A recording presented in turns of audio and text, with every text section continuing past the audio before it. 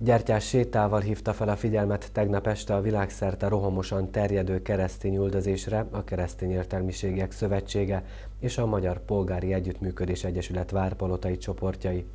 A fővárosi akcióhoz egyetlen vidéki városként csatlakozott Várpalota. Amint egy 40 fő a református templomban gyülekezett, ahol elsőként Orovic Piroska lelkész mondott imát, majd a csoport az evangélikus templomhoz vonult, ahol dr. Zsednai Józsefnél lelkész asszony emlékezett a keresztény áldozatokra.